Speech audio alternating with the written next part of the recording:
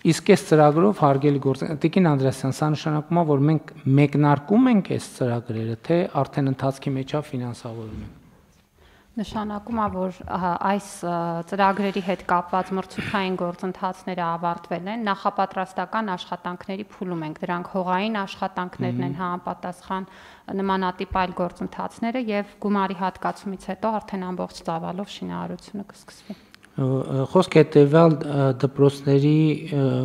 մասին է հանրակրթական հաստատությունների Արատի մարզի Վեդի ավակ դպրոց, գյուղ Արևաբույրի կրթահամալիր, Արմավիրի մարզում Գեղակերտի միջնակարգ դպրոց, Վաղարշապատի Մովսես Խորենացու անվան դպրոց, Վարդանաշենի կրթահամալիր, Կոտայքի մարզի Լեռնանից բնակավայրի միջնակարգ դպրոց, Լոռու մարզի Տաշիրի թիվ 1 հիմնական դպրոց, Շիրակի մարզի Գեթափի կրթահամալիր, Սյունիքի մարզի Վերին Խոտանանի կրթահամալիր, Տավուշի մարզի Աղավնավանքի միջնակարգ դպրոց, Նոյեմբերյանի վարժարան, որոնք ինչպես արդեն նշվեց, մեր 300 դպրոցների ծրագրի մաս են։ Խնդրեմ այլ դիտարկումներ համեցեք։ Շնորհակալություն պարոն վարչապետ, հարգելի գործընկերներ, մի կարևոր հարցի մասն եմ ուզում խոսել պարոն վարչապետ։ Հիշում եք, երբ նախորդ տարվա ընթացքում ըստ էության էս մեծ ծավալի աշխատանքների արագացման մեկնարկի կետում էինք, շատ մեծ մտավախություն կար, որ մասնավոր հատվածում շինարարական կազմակերպությունները այս չափ մեծ ծավալի շինարարական աշխատանքներ կատարելու պատվեր չեն վերցնի։ Եվ իրականում առաջին մրցույթները դրա մասն էին որոշ չափով նաև վկայում, որովհետև մենք ունեցել ենք փաթեթ, որտեղ հայտարարված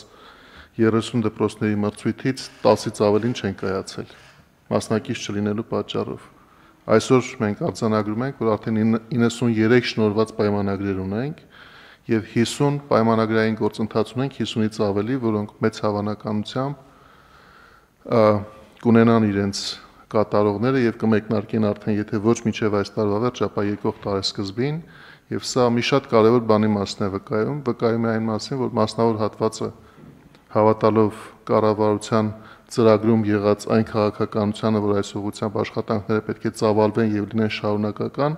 ռեսուրսներ է վերահասցեագրում։ Այսինքն իրենք ներ են գրավում այս շատ կարևոր ծրագրի իրականացման ընթացքին եւ ընթացքում եւ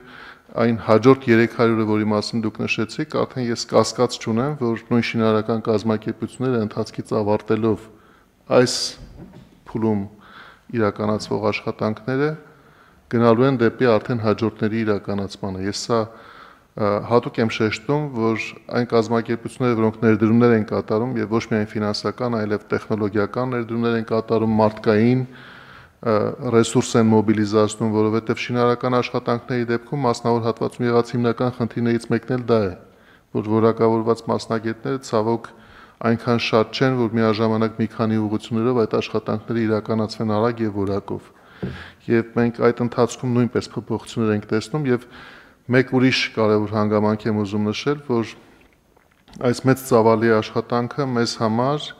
նաև դասեր քաղելու process է, որովհետև մենք այս 1 տարվա ընթացքում բազմաթիվ ընթացակարգային փոփոխություններ ենք կատարել, որոնք մի կողմից ուղված են այս աշխատանքների իրականացման ժամկետները կրճատելուն։ Մենք բազմաթիվ դեպքեր ունենք, երբ որ տեսնում ենք, որ մեր ընթացակարգերը ժամանակատար են, երբեմն անհասկանալիորեն բարթացված եւ որտեղ որ հնարավոր է parzesնել եւ արագացնել առանց որակը տուժելու, մենք փորձում ենք դա անել եւ այսօրվա նիստի օրակարգում դրան վերաբերող եւս մեկ հարց ունեինք. Ընթացակարգային, երբ մենք շինարարական կազմակերպությանը մոբիլիզացման ժամանակահատվածում, երբ որ դեռևս շինարարական թույլտվությունները տրված չեն, այսինքն ֆորմալ աշխատանքների մեկնարկի հնարավորությունը չկա,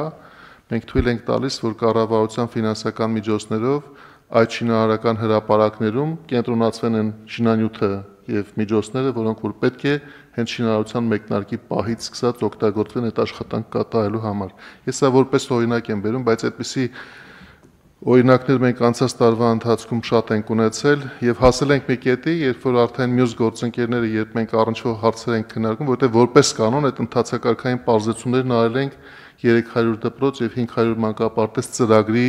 շրջանակին վերաբերող աշխատանքներին։ Եվ հիմա արդեն ունենք բազմաթիվ օրինակներ, երբ գործընկերները հարցնում են, ասում են, բայց ժամանակն է արդեն, որ այդ փորձարկված փորձարկման եղանակով կայացված որոշումները ընդհանրացվեն նաև կառավարության կողմից պատվիրվող մյուս շինարարական աշխատանքների նկատմամբ ես սա նույնպես շատ կարևոր եմ համարում եւ ուզում եմ հատկապես շնորհակալություն հայտնել ֆինանսների նախարարությանը, որը այս ամբողջ ընթացքում գնումների ընթացակարգերը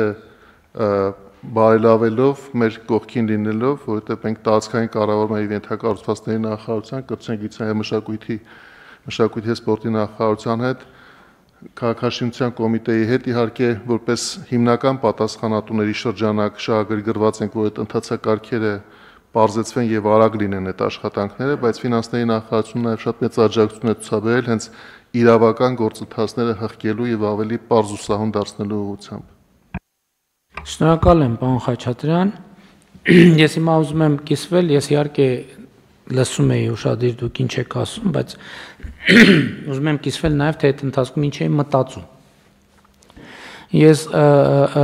մտածում էի այն մասին, որ մենք մեր անկախության առաջին օրերից շատ մի տերմին կա, որը անընդհատ մեր երկրում առնվազն քաղաքական մակարդակում շատ օգտագործվել է եւ այդ արտահայտությունը պետական մտածողությունն է պետական մտածողություն ենք անդադ դրա մասին մամուլում, ելույթներում եւ այլն անդադ դրա մասին գրում խոսում ենք, ասում ենք եւ թվում է թե շատ հետաքրքիր է օրինակ եւ ասում ենք որ մենք պետք է ունենանք պետական մտածողություն մեզ ասելով նկատի ունենալով Հայաստանի Հանրապետության բոլոր քաղաքացիներից բայց օրինակ երբ որ դուք խոսում եք եւ նկարագրում եք այդ process-ը, ես հետեւյալի մասին էի մտածում, ուղղակի տենց միտք ցակեց, որ պետական մտածողությունը այն է, երբ որ քաղաքացին գիտի թե պետությունը ոնց է աշխատում, ինքը որպես մեխանիզմ։ Եվ ինչ էի մտածում օրինակ։ Մտածում էի, որ հիմա դուք ինչ որ ասում եք, մեծ հաշվով Հայաստանի Հանրապետության քաղաքացիների ճնշող մեծամասնությանը ինքը իր էության մեջ հասկանալի չի, որովհետև ես համոզված եմ, որ Հայաստանի Հանրապետության քաղաքացիների 90%-ը չգիտի դպրոցը ոնց է կառուցվում։ Այսինքն ոնց է կառուցվում դպրոցը, դա ինչ process է, ինչ է ներկայացնում Իրանից։ Ընդ որում ոչ միայն դպրոցը, ճանապարհը, Ոնց է կառուցը ճանապարհը ոնց է կառուցվում, այսինքն դա ինչ process է, որովհետև դա այնուամենայնիվ ինչ ինչ որ ինչ որ մի մի մեխանիզմ է, չէ, որը աշխատում է ընթացակարգը կամ որոշումներ են, որը բերում է ճանապարհի կառուցմանը։ Մեր քաղաքացիների մի զգալի մասը չգիտի թե օրինակ ինչա պետական բյուջեն, ոնց այդ պետական բյուջեն ձևավորվում, ինչ ինչա Իրանից ներկայացնում եւ այլն եւ այսպես շարունակ ու դա քաղաքացու մեղքը չի ընդ որում եւ իր պարտականությունն էլ չի սկզբունքորեն այդ ամեն ինչի իմանալ բայց ես մտածում եի որ տեսեք շատ ենք խոսում մեր ծրագրերի իրազեկման մասին բայց իմ կարծիքով դպրոցի կառուցման ճանապարհի կառուցման պետական բյուջեի ձևավորման process-ի գուցե կարևոր մասը զուգահեռ նաև հանրային իրազեկում անել առնվազն հնարավորություն տալ այն մարդկանց, ովքեր հետաքրքրված են դրանով, իմանալ լավ դպրոցը ոնց է կառուցվում, ինչ է տեղի ունենում, որովհետև այն ինչ որ գետնի վրա տեղի ունենում կամ լավ կամ վատ կամ որակով կամ անորակ դրանք ինչ որ միտեղ ինչ որ մի process-ի կամ process-ների արդյունք կամ հետևանք են Է իմ կարծիքով վերադառնալով պետական մտածողությանը պետական մտածողությունը պետքա հենվի պետությունը ճանաչելու նրա մեխանիզմները ճանաչելու ինֆորմացիայի վրա որովհետև մենք հենց հենց հենց մտածողությունը ինքը իմացության վրա է հիմնված։ Եթե մենք որևէ մի բան չգիտենք կամ կամ թեկուզ էմոցիան, ասենք մենք ուզում ենք, չէ՞, մարդիկ մեր պետությունը սիրեն։ Սիրելու համար պետքա ճանաչեն այդ պետությունը, ոչ միայն ես շատ մեծ բանա թողել իմ վրա տպավորություն կամ ազդեցություն կամ այն փաստը, որի մասին ես ասել եմ կառավարության նիստին, որ Հայաստանի Հանրապետության համենայն դեպս հարցման